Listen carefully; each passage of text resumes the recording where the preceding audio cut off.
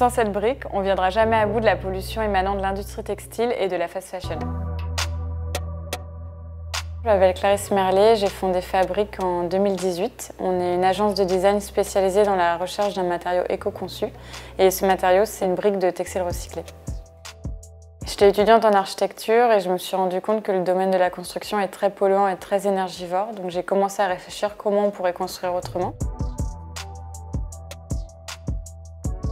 Du coup, je suis passée au textile puisque l'industrie textile est aussi très polluante et très énergivore. En Europe, il y a 4 millions de tonnes de déchets textiles chaque année. Donc finalement, on a fait des briques de textile recyclées.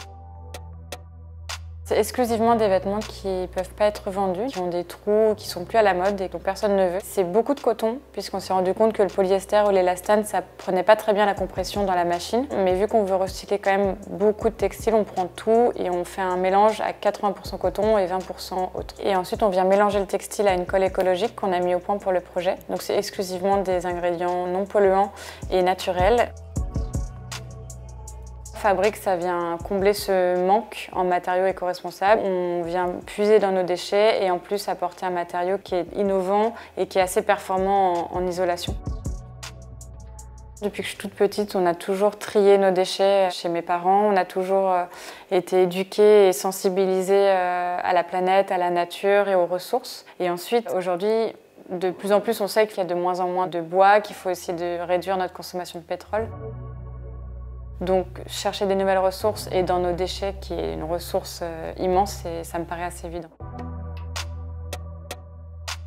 Pour moi, la ville de demain, elle est plus basée sur l'échange et l'entraide et surtout le réemploi de nos matières et arrêter cette surconsommation d'objets neufs, d'énormément de plastique. Cette transition écologique, personne ne peut y échapper, tout le monde est concerné.